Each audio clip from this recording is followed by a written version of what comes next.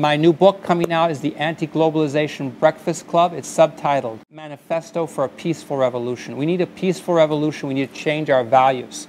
Right now, again, in America, we have new fiscal stimulus packages.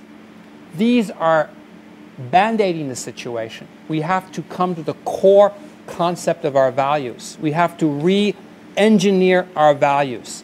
The standard of living that Americans, have, Americans enjoy is not sustainable at the cost of the rest of the world.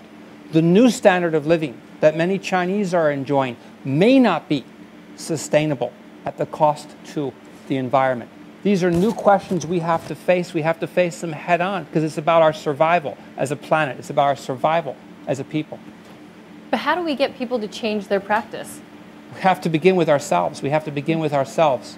We have to begin by asking what we're doing. We have to be aware of it. Oftentimes, in humanity's development, in the development of civilizations, it's a complete crisis situation that forces people to evolve. We have to evolve. We have to evolve our industries. We have to evolve our way of life.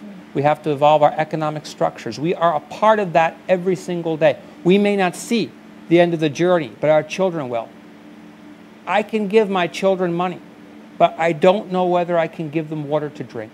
That's something I cannot guarantee.